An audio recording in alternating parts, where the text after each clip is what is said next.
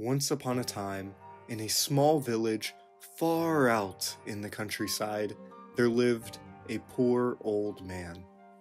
It was the time of year when the swallows came through the town, and the old man would spend hours and hours every day just watching them fly about.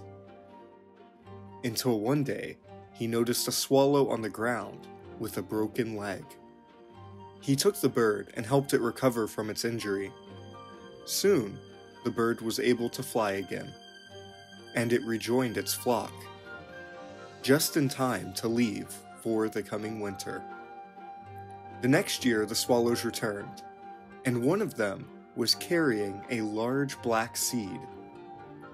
The bird gave it to the old man, so he planted it and made sure to take good care of the plant. Eventually, it grew so large that the old man couldn't believe it. It was so heavy that he could barely bring it home. He was about to slice the watermelon to eat it when he noticed a slight scratch in it. Suddenly, the cut began to deepen and grow until it split the watermelon completely in half. Then, out of the watermelon came many little people.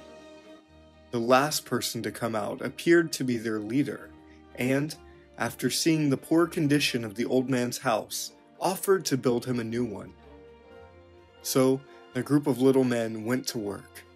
They started building the house, and all they asked for in return was tea, cucumbers, and eggplants as a snack. The man took great care in preparing the snacks and gave them to the little people. After a few more hours, the house was finished and the man was deeply moved by the kindness of the little workers and asked what he could do to repay them. Instead of asking for any repayment, the tiny leader insisted that he had not yet done enough, so the group began to bring in large amounts of rice and barrels of miso soup. After they had brought in the food, the man thanked them one more time, and then was amazed by what happened next. The little group of people turned into swallows and flew away. The man waved goodbye and called out thank you to them over and over until they went over the mountains and disappeared from view.